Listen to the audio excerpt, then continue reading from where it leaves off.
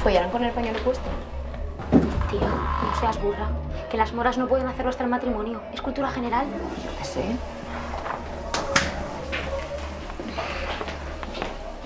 Aunque bueno, a este paso ni matrimonio ni nunca. Porque, bueno, en fin. ¿Por qué qué? Nada, gilipolleces. Tía.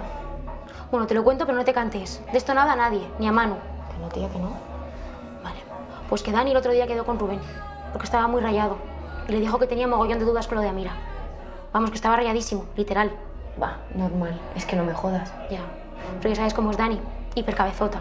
Que le dices que no y él venga, que sí. Y acaba metiéndose en estos marrones. Ya ves. Bueno, venga, vamos.